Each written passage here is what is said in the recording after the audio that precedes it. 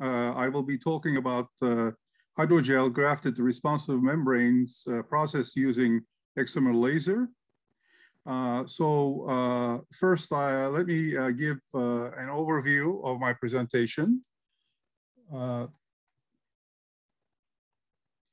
we have developed a fast method for fabrication of stimuli responsive membranes. We used a krypton fluoride pulsed excimer laser uh, as a tool for both uh, creation of regular, well-defined and ordered pores uh, created uh, in support membranes, and also grafting of stimuli responsive transport media in these pores. We optimized uh, the pulse laser polymerization method, PLP, for grafting hydrogel material in these pores to achieve controlled transport rates through these pores. Our uh, method uh, is a, involves two steps. Uh, it's a novel method, uh, different than the uh, currently uh, applied procedures. it involves, first of all, use of a support membrane. I will give you examples of PI, polyimide, or polyethylene terephthalate, PET films today. Uh, we perforate uh, these uh, films by using excimer laser uh, by ablation. So for this purpose, we use 248 nanometer krypton fluoride uh, laser. The uh, process parameters uh, for the laser are fluence, number of pulses, and frequency. So by, uh, uh, by this ablation, you can see here a very well orderly, a well-behaved pore structure is obtained in a macro size. So we have a macro pore morphology created in this manner. In the second step, uh, we again use the same uh, excimer laser.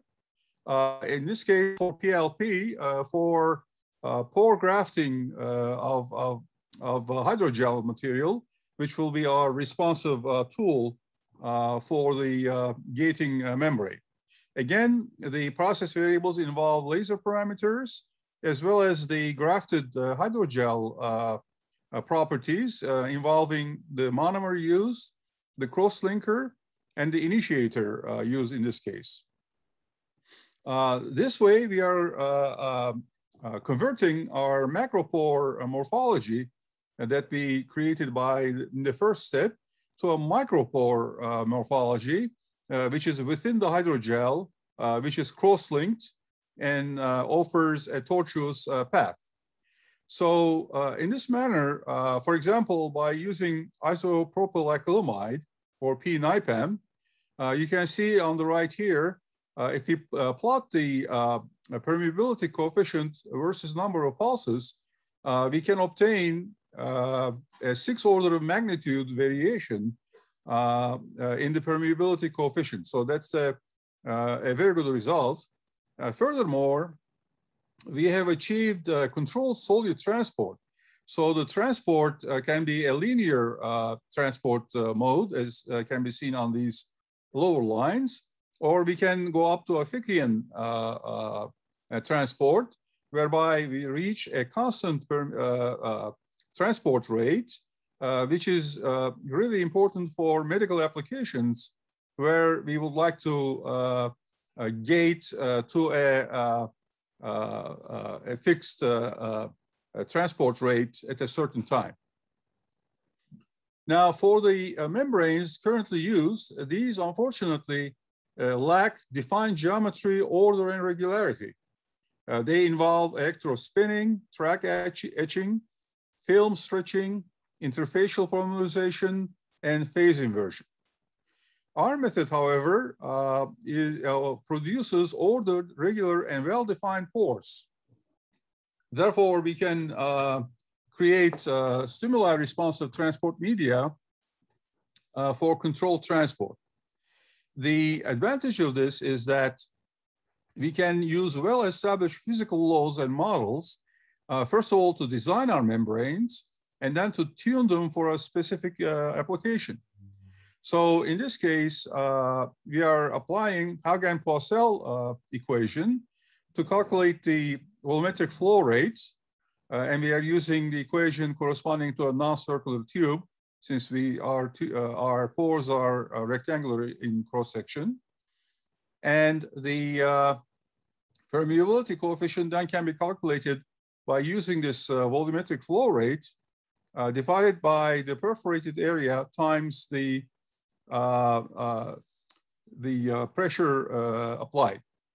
So if we define pore density as the ratio of number of pores divided by the perforated area, then we can write the permeation coefficient as shown here on the right-hand side in terms of geometrical and material properties.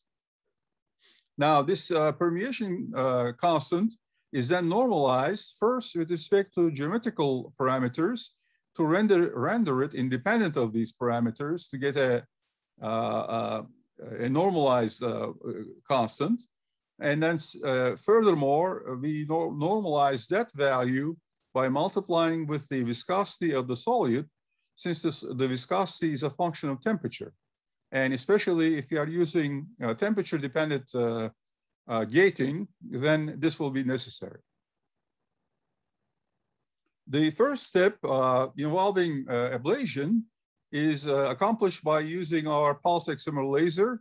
This is a method that has been applied for a, while, long time, and we have used it also in the past for many other applications. The, this ablation uh, is governed by Beer's law, as you may already know, uh, which tells us that the change in the fluence uh, when we irradiate a, a, polymer film is given by the inverse of the effective absorption coefficient multiply, multiplied by the natural logarithm of the fluence, incoming fluence, divided by the threshold uh, uh, fluence. For example, for the PET membrane, the ablation threshold is about 30 millijoule per square centimeter. So we are using an LPX 240i krypton uh, uh, excimer laser, uh, and we are using krypton fluoride uh, lasing gas in this instrument. We can change it, of course, to change the wavelength. With krypton fluoride, we get 248 nanometer wavelength, and we use the instrument at a high constant voltage of 26 kilovolts. We used, uh, for the PET uh, films, we used four different film thicknesses to see the effect of the uh, film uh, membrane thickness, varying from 50 to 125 micron. We also used uh, uh, a steel mesh as a mask for the lithographic procedure in the ablation. and that provided us with the pore sizes varying from 43 micron to 20 micron.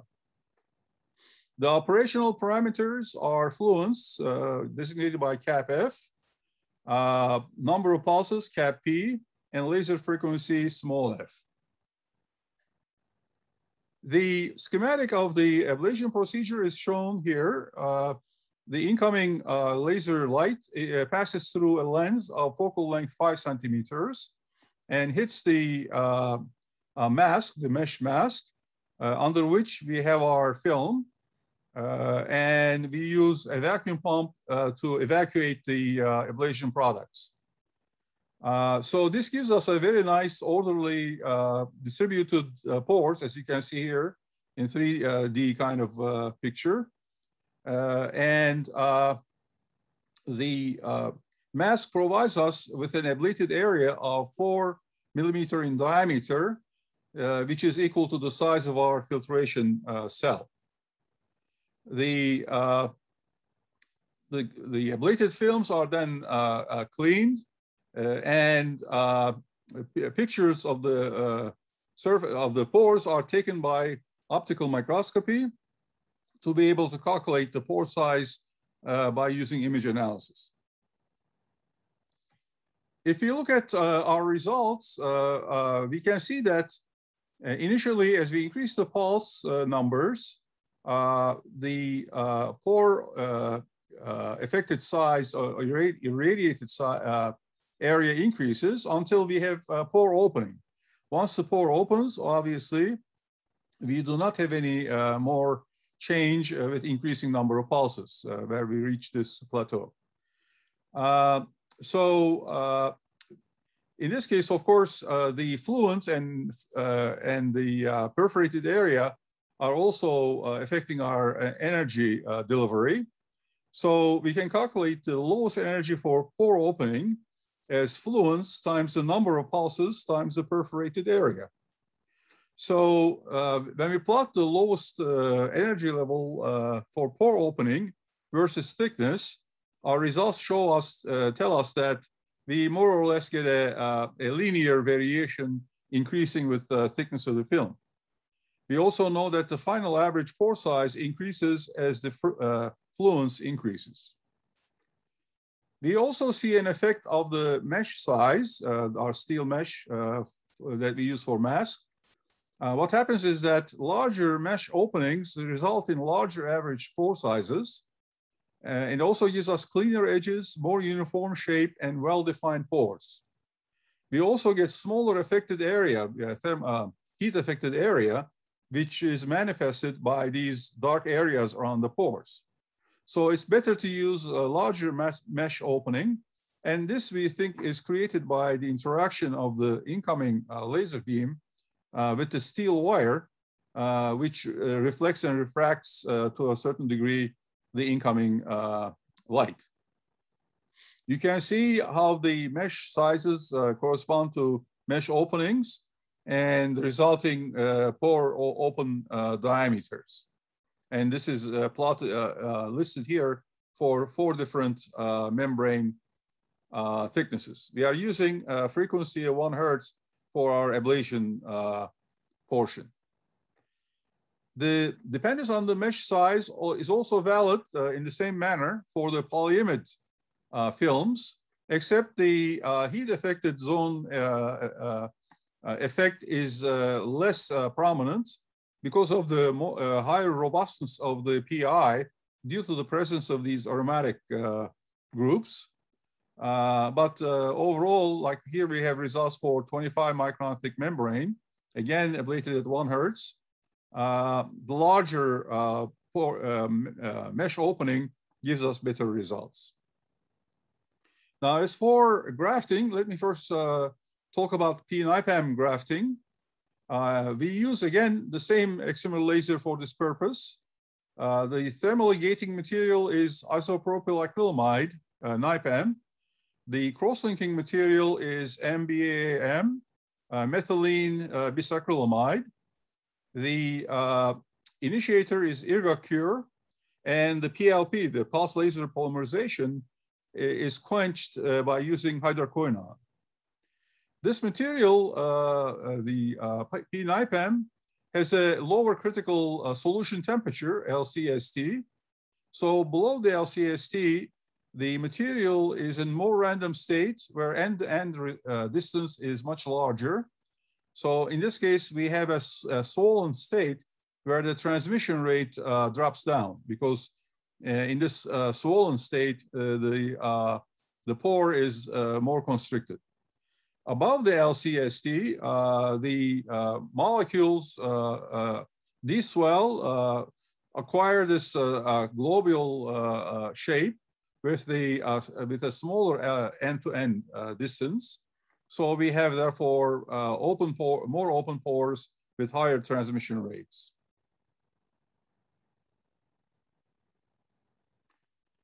For the experimental portion uh, here, uh, the schematic is shown uh, in the middle here.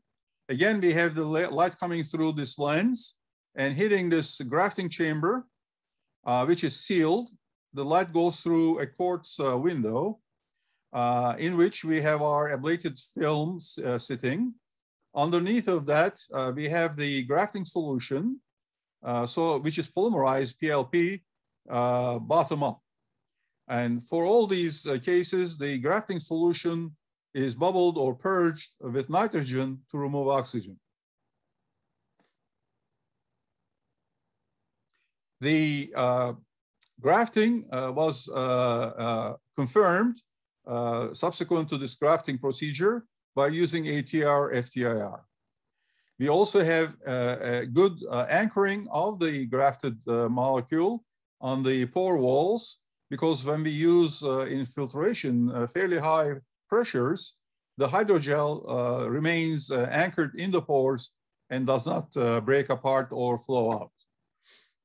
we know that uh, the uh, characteristic chain length is proportional to the dark time, which we uh, have during the pulse irradiation of our membranes.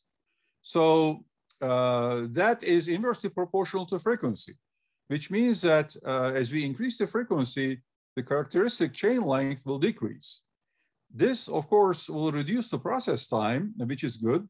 And in fact, I, I must uh, emphasize that our method is, is very short in the, a matter of seconds. It's an ultra short uh, uh, uh, process compared to the other processes that are being used. And uh, so that's even further increased by increasing the frequency, but also uh, uh, we note that uh, by increasing the frequency, the, the uh, density of the, the, the length of the polymer decreases. So we obtain a denser, more compact graft inside the pores. So in this case, the transmission rates are reduced. This is similar to by uh, to the increase of uh, pulse numbers, which increases the cross-link density. And if we increase the cross-link density, again, the transmission rate uh, is reduced. So that's uh, an area that uh, uh, we need to pay attention to. Now, as I mentioned, as far as the mechanism is concerned, below the LCST, the dominant H bonding is obtained between the P-NiPAM and water. So we obtain a random coil uh, with a, a longer end-to-end -end distance. Above the LCST, uh, intramolecular H bonding be, uh, occurs between P-NiPAM chains, and we obtain this uh, compact spherical globule, which uh, uh, allows higher transmission rates. So as I mentioned, the degree of cross-linking does have an effect on the transmission rates. We can control that by either the percentage of the cross-linker so, in the solution or by number of pulses. So if we want lower cross-link network, we need to use either lower percentage of cross-linker or lower number of uh, pulses. So this is uh, true for both the uh, PET and PI. Now, for the uh, grafting of the uh, uh, of the PI membranes for pH responsiveness, in this uh, case, we use polyacrylic uh, acid, uh, PAAC. Crosslinker and initiator are the same as uh, P-NiPAM. Now, uh, the uh, grafting is again very effective. You can see here from this picture, very nice and uniform grafting, secure inside the pores. And when we look at the permeation coefficient, we notice that with the acrylic acid, uh, we had a high uh, permeation uh, coefficient at low, uh, low pH levels. Uh, so uh, this was this corresponded to the swelling of the PAAC. what happened here was that the carboxylic groups are protonated at low pH, which leads to intermolecular hydrogen bonding that leads to the swelling of the polymer. However, if we, as we increase the uh, pH and reach the seven, uh, then uh, the permeability coefficient drop down. So uh, here, uh, what is, what's happening is the hydrogel is swelling, as represented here, at a higher pH, and carboxylic groups dissociate in the polymer chain, causing swelling. So we have the gating function uh, achieved uh, in this manner.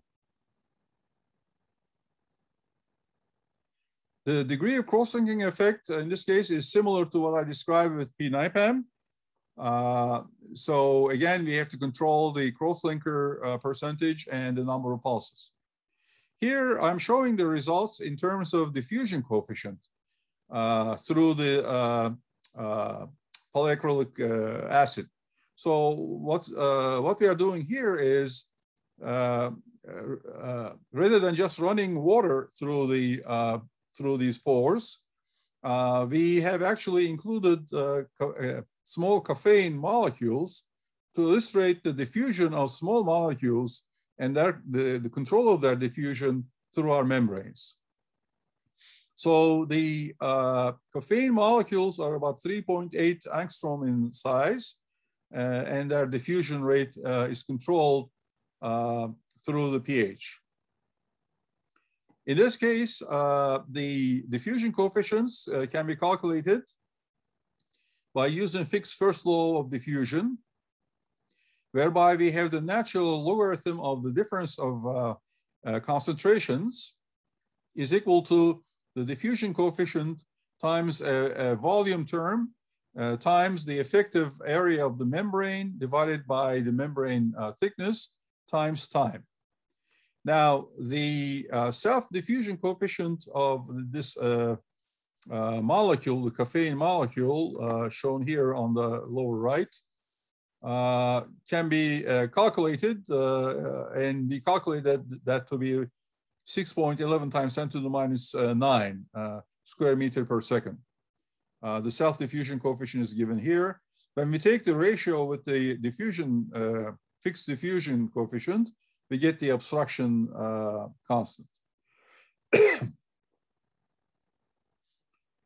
now, uh, to uh, talk a little bit about water permeation, uh, when we ablate the film, uh, we op uh, obtain a, a, typical representative pore diameter.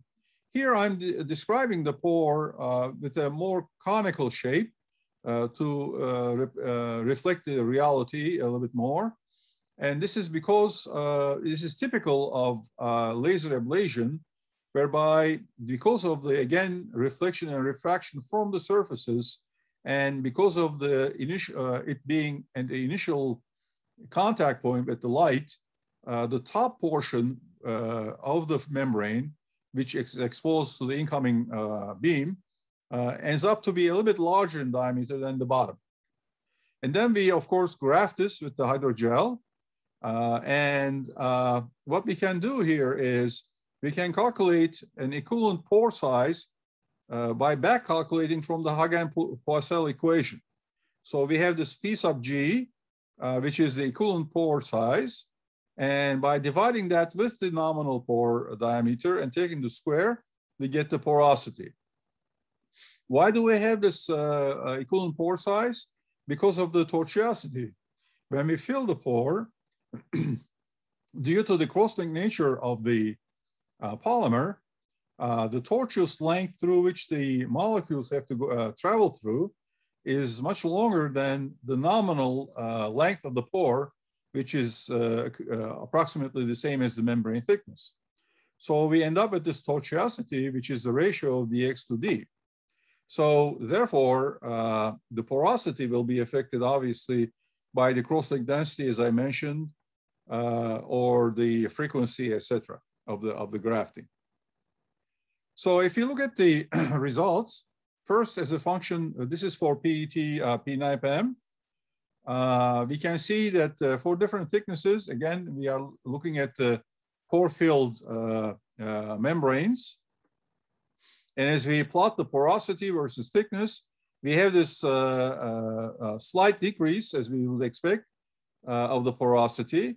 But more importantly, you can see as we increase the number of pulses, uh, the, the higher the number of pulses, the smaller is the porosity.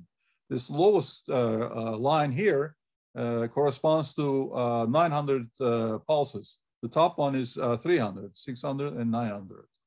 And why is that? Because with 900 uh, pulses, we obtain a denser uh, graft, uh, which uh, hinders the transmission uh, more effectively.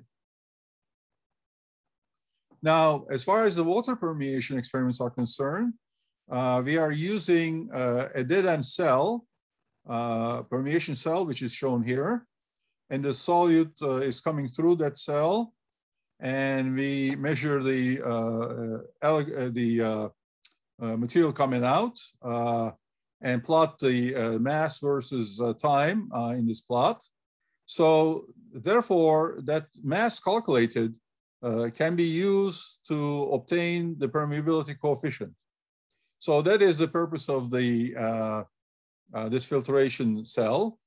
Uh, and then remember that uh, this permeation coefficient uh, can be, should be normalized first with respect to the geometric and material properties. Well, first with the geometric properties and secondly with material properties. So when we uh, uh, plot our results uh, as a function of thickness, you can see here on the left below the, this is for with P-NIPAM, uh, below the LCST, you can see that the normalized permeation coefficient goes down with thickness. And it's affected also by uh, the uh, numbers of pulses. And above the LCST, again, it's going down with the increasing thickness.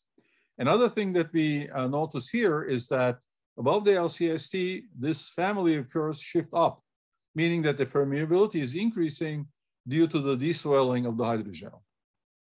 Now, if we just look at the uh, values uh, uh below and above the LCST at different uh, pulse numbers, 300, 600, and 900, even though we see differences, uh, the thermal gating effect on all of them, this effect is most prominent at the highest number of pulses you can see here. And if we take the difference here and, and obtain the percent increment and plot it versus the thickness of the membrane, you can see this monotonic increase, uh, very prominent uh, with thickness.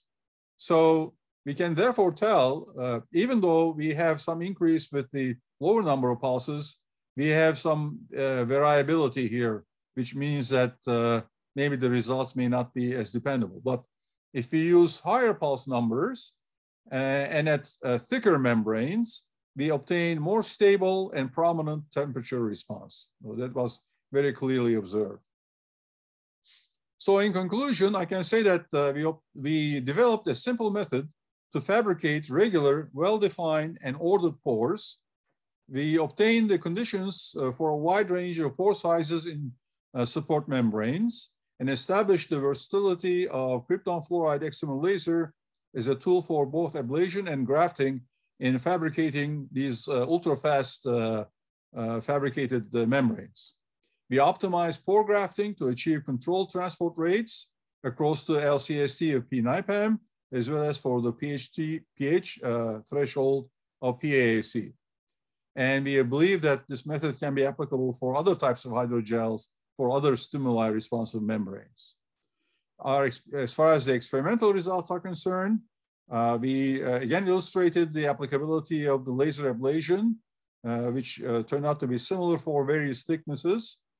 And grafting uh, was very uh, revealing for PLP.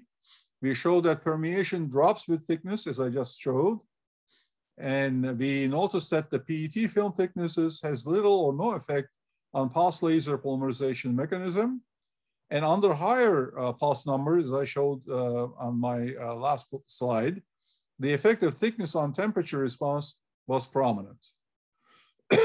Even though I didn't show data or go into detail because of the uh, limitation of time, I also mentioned that we immobilized glucose oxidase on our pH responsive uh, PI, PAC uh, gating membranes. Uh, glucose oxidase or GOD enzyme was immobilized on the membrane using, uh, using carbodiimide-based imidation method.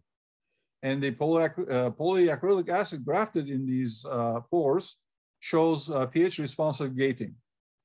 The immobilized GOD molecules showed glu glucose sensitivity and converted the glucose into gluconic acid.